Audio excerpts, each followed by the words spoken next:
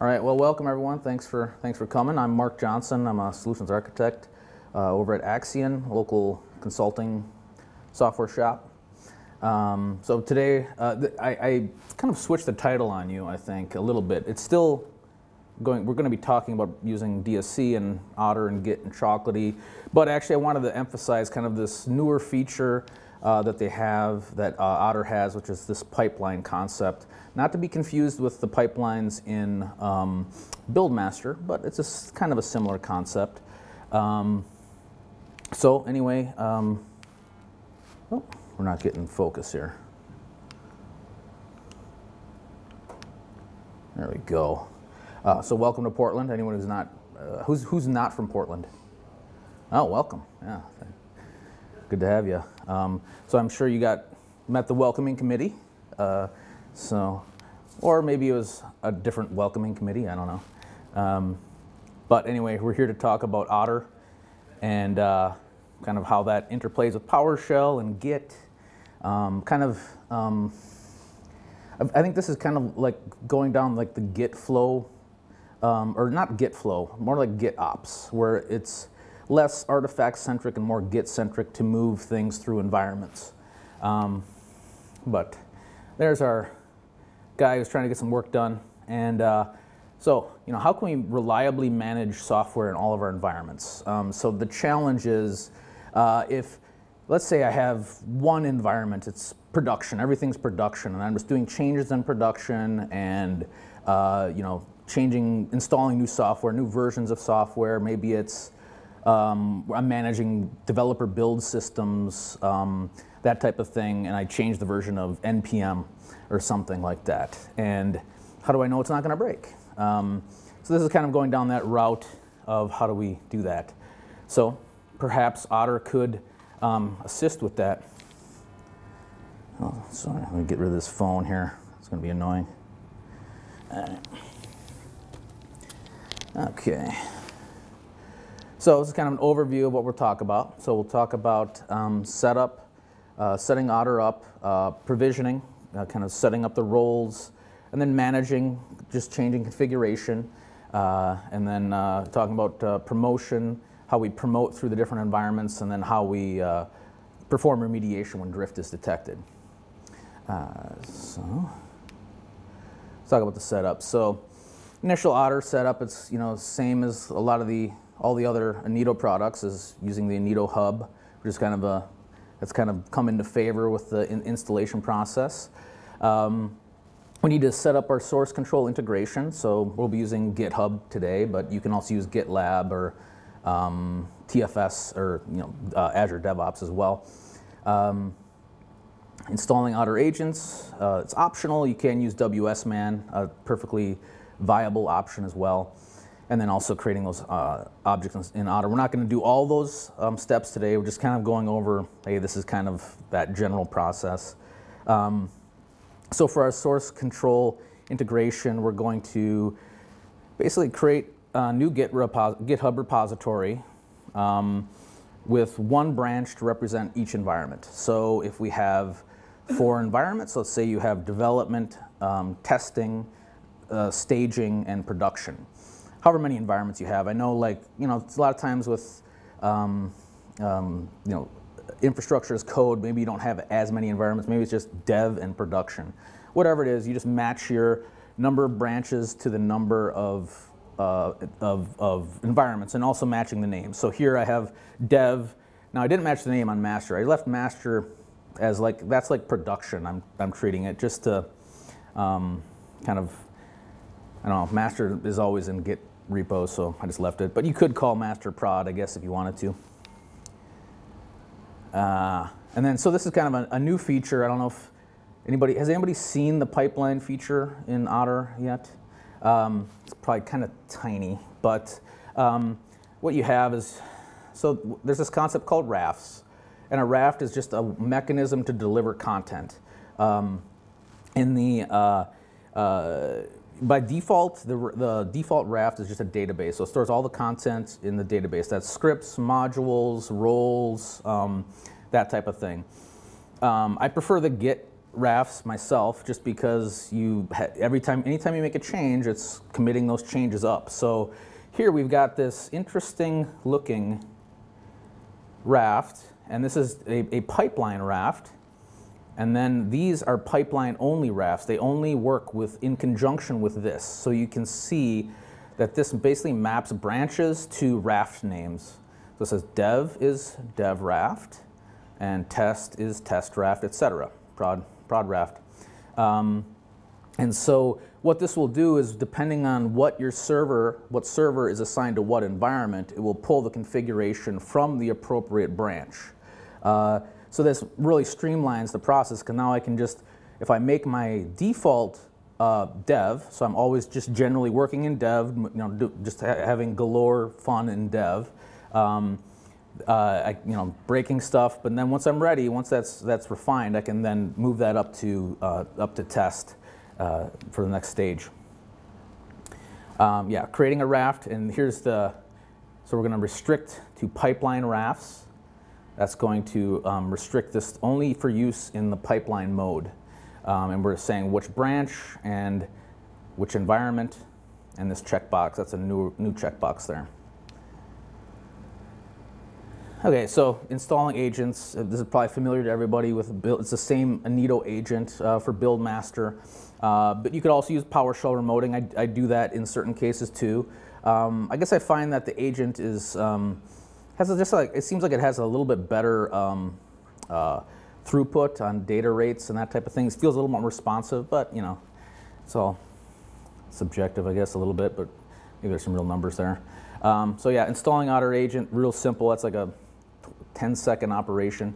Um, and then we're going to, you know, as we're creating those, installing those agents, we're going to uh, create the corresponding Otter server objects. So you can see here, I just created representations for each environment. So we have a uh, dev VM, prod VM, and a testing VM.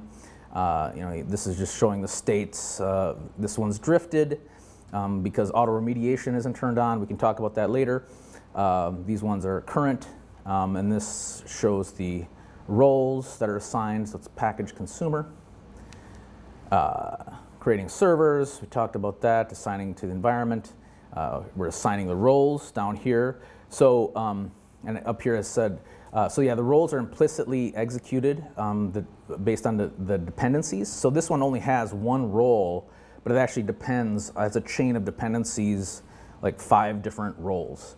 Because um, what you'll find is that um, if you don't have those dependencies in place, uh, you, um, let's say you're trying to use some particular operation just to even detect if something's there, it's going to crash. It's going to say, I can't even do this because I need to have it installed. This allows you to kind of uh, ramp, you know, uh, progressively bootstrap your system with the, the command so you can don't have to get a lot of red errors all the time. Um, so Let's move on to provisioning. So um, yeah, basically we're going to do a one-time setup, and this is basically the bootstrapping is this is um, things that I, you know things like getting Chocolatey installed, getting NuGet package manage uh, NuGet package management installed, um, maybe some other DSC PowerShell modules that will help us uh, accomplish different types of configuration. Um, so, I mean, really what this is doing is preparing us to do like real work. Um, but this, so some of these bootstrap operations are more PowerShelly. It's, it's, um, they're like, hey, let's, if I start from a clean system, how do I get to a point where I can now start like really um, delivering value? Um, so yeah, obviously getting it working on dev servers first is the goal. Uh, this is, yeah, uh, just emphasizing the role dependencies, depending, chaining those dependencies. Um, we want to configure PowerShell, and uh, you know, we want to make sure that WinRM set up, uh, bootstrapping PowerShell modules, the, some DSC modules for doing additional configuration. Um, and this is just a sample uh, Otter script of, you know, how, of installing some of these uh, um, PowerShell packages. So we're doing like DSC resources, package management, provider resource, package management, and here we're just using like raw PowerShell to install those modules off of the PS gallery. Um, but this is just kind of that bootstrapping thing. And like here, it's setting up this max envelope size just so that when you're doing any PowerShell activities, sometimes you'll hit these things like envelope size exceeded when there's a bunch of data. So this just kind of handles that. Um, package management configuration. So um, yeah, here we want to set up our custom URL. So if we're using ProGet internally, um, you know, set up custom PowerShell, uh, Chocolatey, NuGet, NPM uh, um, URLs, which is, I know it's always fun, like NPM especially is fun to apply that system wide, but um, that's where you do it. Um, yeah, and then additional Chocolatey uh, DSC. Uh, so i have been using Chocolatey um, DSC resources just because they I've been using them for a while, and they're they're effective in like bootstrapping Chocolatey on the system and getting um, uh, uh, you know other and getting Chocolatey packages installed. And uh, then we'll install the Chocolatey client using the partial DSC module. Okay, so Bootstrap production server. Now, unfortunately, um, Azure connectivity is, is down for me. I have, there's some port issue with the, both the wired and the Wi-Fi, but um, I believe I have a, a, a can circumvent that. Um, so I do have a local VM, fortunately. Um, so let's just start top level. So this is the Otter interface. This gives us a preview of like the status of our uh, servers, the roles, and the environments. So this is just saying hey, there's two um, there's two servers that are current and two that are drifted. And so let's go ahead and take a look at our servers. Now you see some red in here. So the, both the prod and the test VM are Azure servers.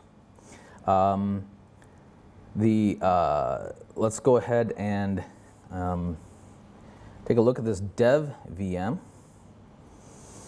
So let's look at the configuration. So this is what's currently been provisioned to the system. Uh, we've got some just general packages, like anything general would be any like PS, any PowerShell scripts that were just invoked. Um, and we've got some DSC packages, Chocolatey packages, etc. And it also collects kind of just system-wide uh, DSC modules that are have been installed. Um, and then, uh, so let's go ahead and take a look at the role. So this is, right now this is using this Chocolatey Packages Build role. So let's take a look at that one. I'm gonna open that new tab.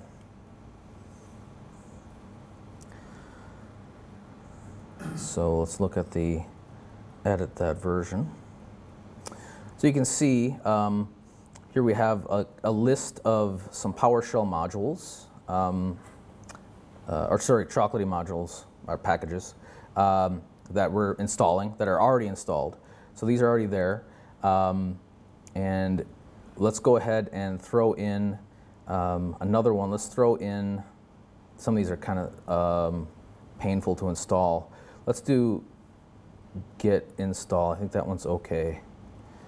I don't want it to take like minutes. So we'll save that. And so by default, it takes a little time because it's actually, it's actually pushing that commit up to uh, GitHub. And so let's go back to our server. And we'll run this check configuration.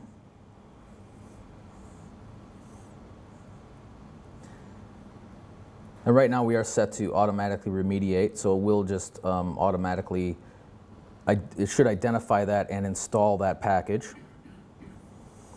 Um, so here we're, yeah, we're, it's saying, hey, I've already got module Chocolatey installed. Um, is this is this screen familiar? Have, have people seen this one? Mark, you have, yeah. Um, so this is just like a straight output dump of like exactly what's happening a real-time kind of thing. There's a, you can also switch to the detail view, which just kind of um, categorizes things based on their role execution. Um, generally, I, I kind of stick in here, um, but the other view can be helpful too. Okay, so git install, so that is going to ensure that. So let's, so that took uh, four seconds. That wasn't too bad. just ensuring that Notepad++, Plus, the Vim, and okay, so now it's going to do the git because it didn't think it was installed. And there we go. So that finished. So let's go back to the, so now we can see we have 13 items in the configuration and now we have the uh, git package um, being installed. Um, so if we go up to GitHub,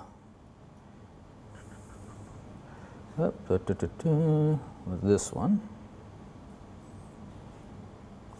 So if we switch to branch master, uh, we can see that um, for that role,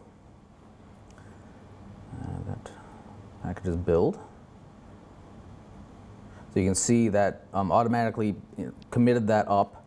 Um, and so now if we want to propagate that, we can go ahead and do a, uh, do a pull request.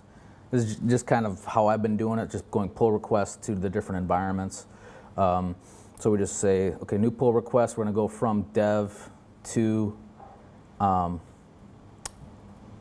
test. I'm going to follow the flow, even though test is down because that Azure machine is down, but this is a pretty quick um, process. So we're going to merge that. As you can see, the files is going to detect that single change. So the nice thing about this is that it gives audit auditability um, across your process as you're moving and changing things. You can have now you can have a review process in Git. So it's kind of you know um, it's more like real development um, in some ways um, as opposed to like just changing things and not having that review process. Um, so it's uh, it's kind of kind of nice that way. Um, so let's go ahead and uh, merge that. So that is merged, and I'm going to go. I'm just going to do another pull pull request real quick to the uh, to go from test to stage. Stage is the local VM I have. Uh, so new pull request from test to stage. Create that. Okay, again, just one file change, probably the same amount of content. Yep. So now we're moving that to the next environment. Confirm that. And so that's, now if we go, now let's go ahead and We'll come back to that because that's going to take a little bit longer to do. So let's proceed on the slides here. So that's the demo, bootstrapping. So now we have the, the bootstrap dev server. I kind of uh, pre pre-provision that one just to save time because we will we'll fully provision the staging once we um, enable auto remediation on that, which will take a, a couple minutes. Um, okay, manage configurations. Uh, so here we're going to configure what packages to install, uh, what PowerShell uh, modules and DSC resources, and environment-specific settings. Um, so some modules are installed by the uh, Bootstrap DSC resources Otter module, um, and we talked about those, the chocolatey modules.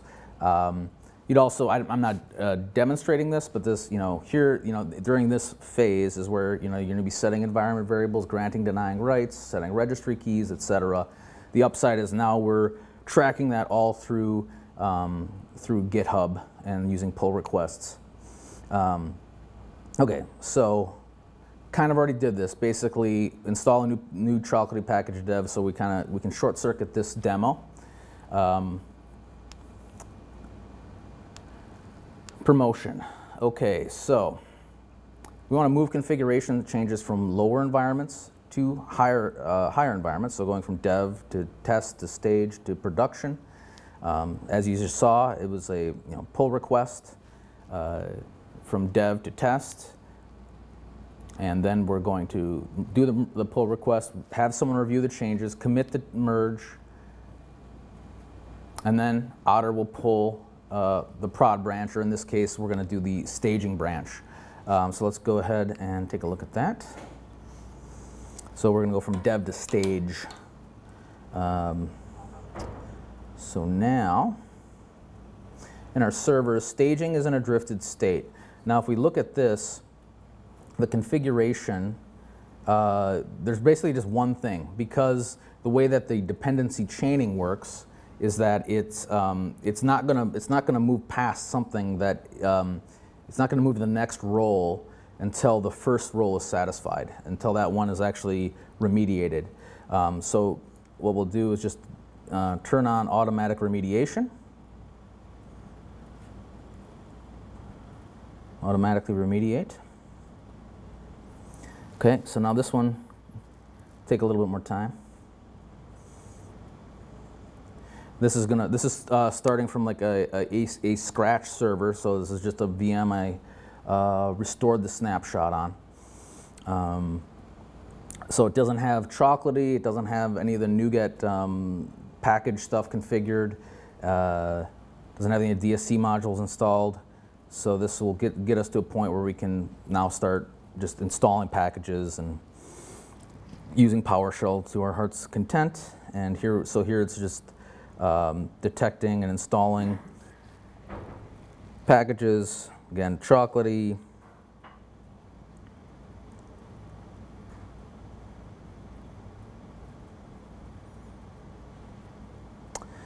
And yep, and then there's the module cChoco. I use both cChoco and Chocolatey because they kind of have different uh, strengths and weaknesses. um, but, and those are DSC modules. Um, but uh, Otter does really well integrating with the, the DSC content uh, that's on uh, PS Gallery. So there's a ton of uh, great DSC modules to really expand the library effectively.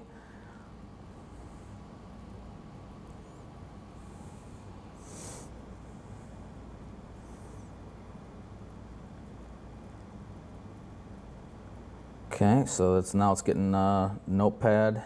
It's ensuring that.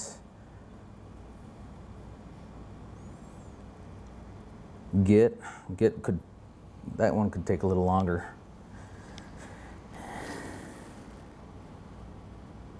Yeah, while it's doing that, let's, um, let's go back and take a look here. Okay.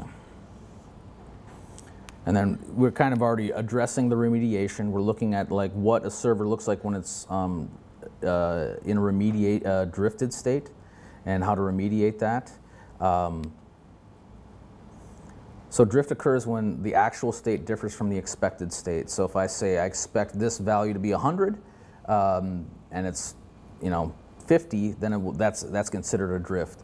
By default, all the servers are in uh, just a report only mode. So let's detect the drift, uh, but they won't um, uh, they won't auto remediate. So that's kind of the next level where you kind of want to get to. You want to get to that. Uh, hey, everything's being auto remediated, uh, and I think with this type of, of pipeline system, I think there's a lot more comfort there that the things that actually make it to production are going to be well vetted and uh, um, you know have the reviews, have the um, the testing done.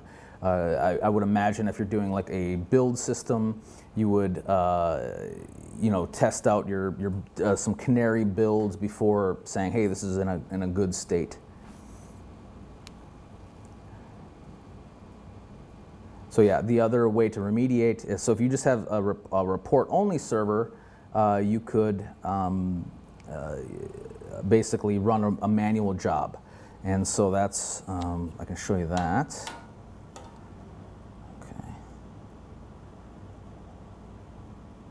So that's done.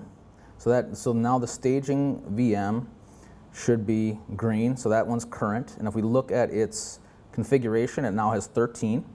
It has that um, git install we added in the uh, dev environment. That is so that is now effectively in the staging environment.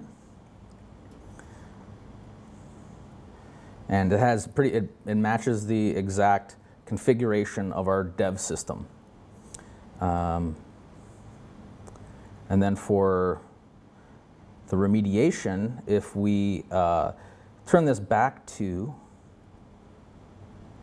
a, turn it back to report only. And we'll go to, so we'll go back over to assets.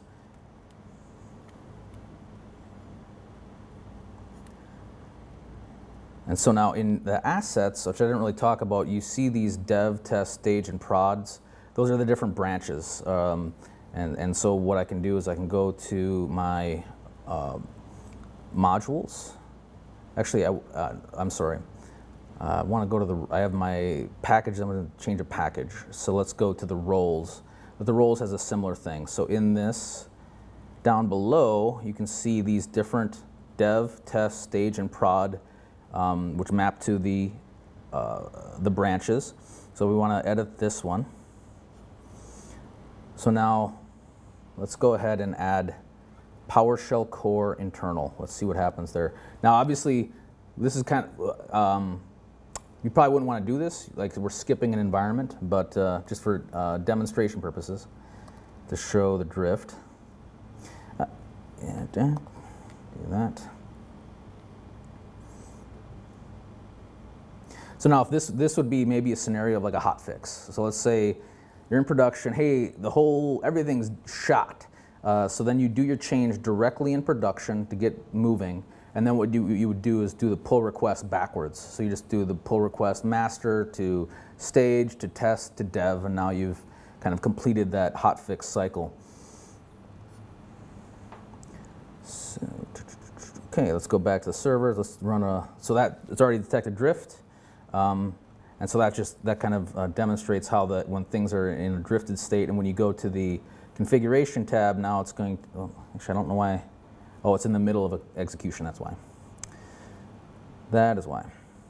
So as it's going through, it's, it first detects and then it's going to uh, remediate. And, uh, and it, I think that this execution fired off before I had done the change. So I think that concept is clear anyway, so not going to spend too much time on that. Automatic remediation, we kind of already covered that. Um, so that's kind of the gist. That's the gist of the, the pipeline process. Um, I think this feature is, it, I think it's clear enough, simple enough um, to um, really uh, kind of up level that the configuration process um, to make it a little, little clearer. Um, but that's, that's the uh, talk. Any questions today? How do you scale that though? Hmm? How do you scale that? Like in a, in a large enterprise environment? How do you scale? Because it looks like you're still coming in, you're making individual server objects here, and, and that, that's fine and well and good when you've only got one, five, ten Mhm. servers. hmm When you hit the point of having several hundred Yeah. of them that you wanna deal with, Sure. you don't really wanna come in and Sure. You, hand, you've got- you- Promote everyone by hand. Promote every, well, you wouldn't promote everyone. You would promote a single branch, right? So a single branch could apply to 100 servers. Okay. Yeah, yeah. So like I have a dev branch that could apply to 50 dev servers. Uh, my s- test could be like 10 test servers. Uh, so yeah, that's those are the, uh, the number. It's not a one-to-one relation. It's only for demonstration purposes. I just have Okay. one dev server, one yes, but I'm also not familiar with Otter. Ag- ag- Agree. So I'm, I, no, so yeah, that's a great question. Yeah, so that's, um, uh, yeah, that you could, the scale should not be a problem. Um, it should be able to handle, uh, and, and if, it, and if you're talking about like, like creating the server objects in the, in the Otter itself, I mean, I think there's um, several au- automation options where you could, you know, if you're using an Active Directory or you have some directory of computer systems, you could pull the names, you could do, you know, you could do PowerShell remoting, so that would give you, um, you could also install the agent um, automatically if you have some like SSH convention or something, you know, I don't know if you're in a Linux environment or your Windows. Where my environment is, yeah. Okay, so I mean, yeah, basically, you know, if your systems are already have PowerShell remoting, that's an advantage because then you can you could install the agents, or you could just set all your agents in Otter up as just WSMan connections. Um, but uh, yeah, there's there's several options for for automating that in- installation kind of configuration part. Um, Can you use Otter to install the Otter, the Otter agent? yes, yes, So yeah. You can switch it, you can install out a server and then tell it to install the Otter agent and switch its connection from. Yes. Yeah, because you the the API the the web API for agents is available. So you or servers. So you can basically we just did this with um, with a, a client. Basically install Otter Agent, get the AES key, then you can like basically uh, call the um, Otter API endpoint, create that object with the AES key. You're good. Is? Is it built into Otter? No, no. Yeah, I think I've been. I, I, yeah, that'd be interesting. So, like, how would you see that working? I'm just kind of more curious. Like, if Uh, so I would see it working as you somehow add server to Otter some functionality somewhere and you would check boxes and, and install the Inedo agent. so, like, And- And it goes out and uses WinRM to install the agent somehow I like it. and then connects back to Yeah. Otter. And Yeah, transports the key for you, so you don't have to worry about. yeah, Yeah, we have, we have automation in place that uses Chef to install Inedo agents on all our servers. ah, yeah. I think that's a good idea. I think that would be a great. guys at Otter just did it for you. Yeah, I think that would be a great. Especially this source supports WinRM. Yeah, I think that would be a great candidate for like an extension to, to add on there. I don't think it's, I mean, I think the pattern is, cl- is clear enough that it's just implementing it. Yeah, Uh. like, uh, if, I want, I want to move to a, uh, thing where we can spin up servers dyna- servers dynamically, Yeah, and having to bootstrap to bootstrap, right, nobody wants to do that, it'd be nice if I just could say, yeah. I had a server, then within like three minutes, it was yeah, configured with an agent. definitely. Yeah. Well, I mean, and technically, if you already have, if you already have PowerShell remoting enabled, you don't even need to install the agent. You can just use PowerShell remoting. I prefer to use the agent. Oh, okay, that's fair. PowerShell remoting is kind of weird. I no, I hear you. yeah, no, that's, but that, that's a g- I, I've I've that's been one like since Otter's inception. I'm like, how do I automatically do this? And so it's been on the backlog. So like, it's a I think that's a good um, you know hearing that is a good uh, motivation to like talk more about that. Yeah. So um, any other any other questions or comments? I like that as a committee to get that sort of tool. Can you configure to, to make commits as the current user? So you know who's making the commit? Yes, so you probably saw that it's like it's, it's like Otter Express user. Yeah, Uh, so it would if you if I had a like a, a like a actual license and there was users, then it would actually put the user information in that commit. Okay. Yeah.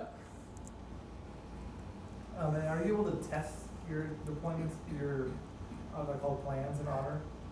Uh, Did you do any kind of testing around them before you, they even get promoted to say dev? Uh, yes, you could do testing. Now, I mean, obviously, a test would be something like, um, you know, uh, run run this configuration, and then you'd have some other test configuration, like a role perhaps, that is like dependent on those other roles, so it implicitly runs last, and then it would just do some. I mean, it's really just like validating that the things happened, right? That's kind of.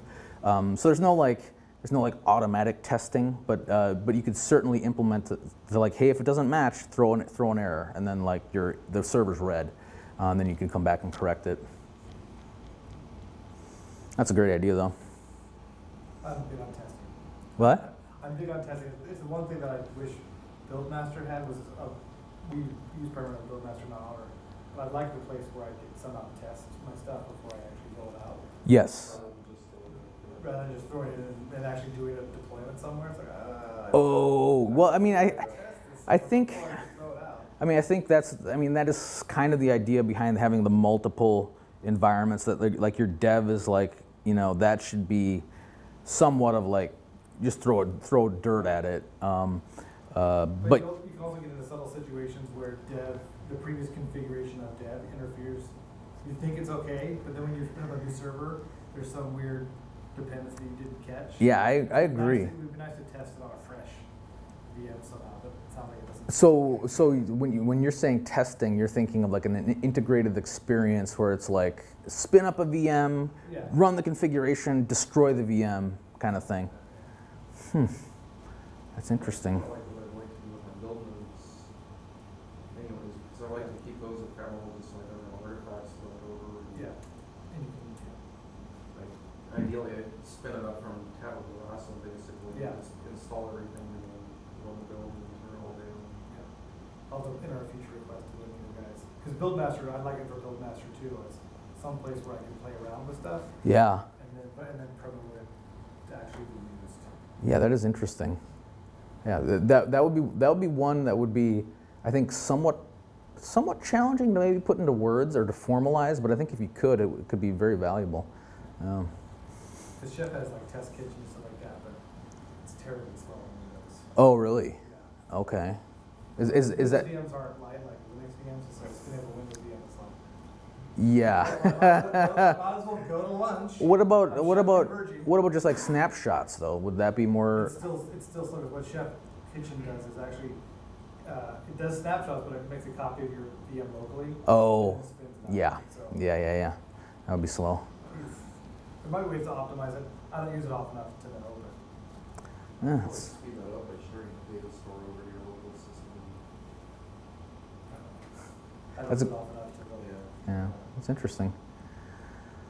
Well, cool. Any, uh, any other questions, comments? Cons- Sure, yeah, keep them coming, yeah. Um, as far, and I think this is my last one, so Mhm. as far as committing to source, is it all of Otter gets committed to the same repo, or can you divvy it up somehow? You can divvy it up. You could go to different repos. Um, I'm, I'm just using branches because that makes like the pull request um, flow very easy. Um, but yeah, you could certainly go to like multi-repo, like this, um, like dev is this is over in GitLab, and you know you go. Right, You can, let you do like role based, like this role is in this repo, this role is in this repo, or is it basically by environment? You have to. You can, um, yeah, so let me show you that actually. So in roles, so like on these, the, Kind of nicer units, and you can get basically it's just, I mean, it's based just on, on the server. So whatever the server is associated with, whatever environment, so like in this case, like we have a role that's applying to two different VMs in two different environments, which is technically two different um, repos, but they're this, just different branches. Um, so I'm just trying to drill down exact, kind of more where you're shooting towards. Well, I just, I know right now we have, the way we have our chef cookbooks organized, it's kind of by role, like, is a file server, this is an app server, this is a BLA server. Yeah. And they're all in different repos. And I know there's, there can be some level of cookbooks that operations doesn't want anybody to touch, but there's some cookbooks Got that it. that they, they're gonna let people touch, and so I'm wondering if there's a way to mimic that somehow. Let me think about that. Let me get back to you on that one. I, I think there may be some creative solution there, but I haven't thought about that. I'm all for creative solutions. Well, that'd be nice for supporting different, different they have.